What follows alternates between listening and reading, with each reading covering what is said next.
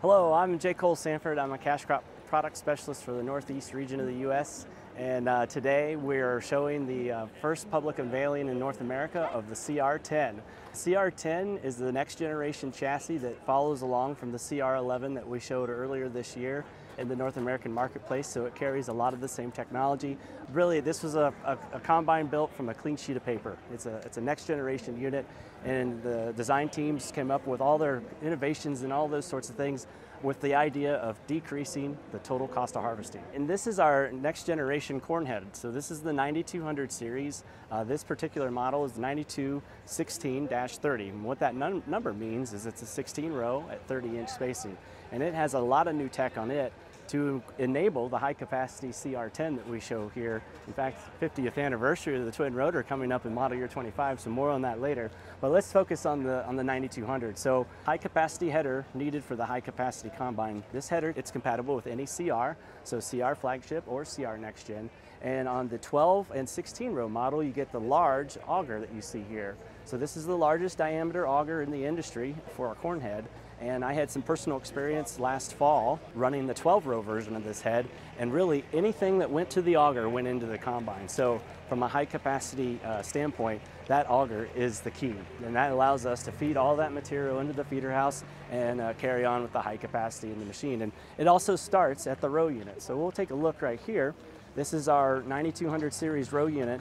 Those that are keeping track, we actually had this row unit launched a few years ago with the 20 and 22 inch corn head that we offered from New Holland, and we've now made that into the 30 inch size. The cool part about this row unit is it's a, a lighter design. Uh, we've improved the, the spring system that holds the gathering chain, so it prevents any kind of slipping. So you'll notice that the gathering chains are intermeshing, so to speak, and we try to keep that timing uh, perfect, and the rigidity of the spring system allows us to do that. One other thing that we can do with the new row unit is both deck plates move, and they're centered as we open and close these two deck plates, these two guys right here that you see. Um, and depending on the crop uh, condition or size, the size of the stalk, the size of the ear, we can tighten those down and get a better, cleaner pick uh, with minimum header shelling. Um, or in larger corn or larger stalks, we can pull those apart. But the idea is both of those deck plates move in unison and they're centered over the stalk roll. One other unique thing is this header is equipped with the chopper. So we can, uh, you can see that chopping row unit right there that I'm pointing.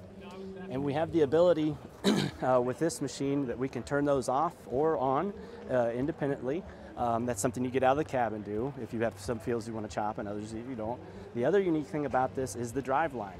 So on the left-hand side of the header, that drives all the row units, the auger, and then on the right-hand side, when we have chopping, we have a different power shaft we hook up and that runs the chopping row unit. It's a kind of a unique deal where we separate out the drives depending on what it's actually doing. So we separate the drives for the chopper versus the, the main unit of the corn head. Then at the end of the row units that you see here, we currently have the tall corn attachment installed and it's installed over top of the end auger divider. So this is the first time we've had the ability to have either or. On previous designs and previous models, we weren't able to have auger end dividers if you wanted the tall corn attachment.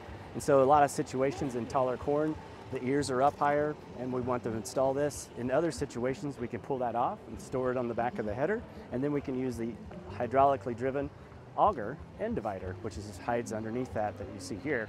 And that helps us a lot in down corn situations uh, to help feed the material in. So overall, it's a really exciting header. Um, we're real excited to see this, uh, see it work um, uh, this fall and get high capacity out of the high capacity machines. If you want to learn more about the machine, search New Holland uh, Agriculture on any of the social media channels, as well as go to newholland.com slash NA, and that's where you can find uh, your facing dealer and you can contact them and you never know, you might even get a product specialist to come out on the visit to talk shop about the new CR10 and 11. So real excited about what we have and thank you very much.